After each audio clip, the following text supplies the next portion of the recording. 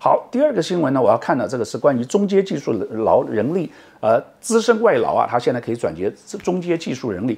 台湾呢，现在最缺乏的是中阶的技术人才，高端的不缺乏，低端的也还好，因为有很多的外劳，但中阶的这个非常的缺乏，在智慧机械电子资讯里面，那我们看到就是说是二零二一年缺乏十缺工呢十三万人，创下七年的新高啊，那么。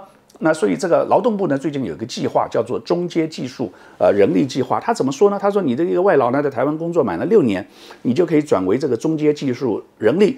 那你这个中阶技术人力是什么样？就是说你一旦身份改变了以后呢，你就不受到这个这个留台十二年，因为外劳你在这边。打工啊，就是比如说你是一个月佣啊，你做了十二年，你就要回到你的母国去。你这个变成了中阶技术人以后，你将来就可以继续待在这个这个这个这个台湾了。那这个就跟香港，香港是七年，待了做了七年。以前我在香港做了七年，就拿到了香港的永久居居留。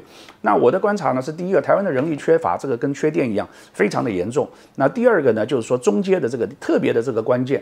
那第三个呢，这个我相信啊，将来这个中阶的人才很大一部分会来自啊东南亚。你要从美国、欧洲来不可能，东南亚，东南亚。他这个，我们我们我们要把东南亚的人才好好的把握。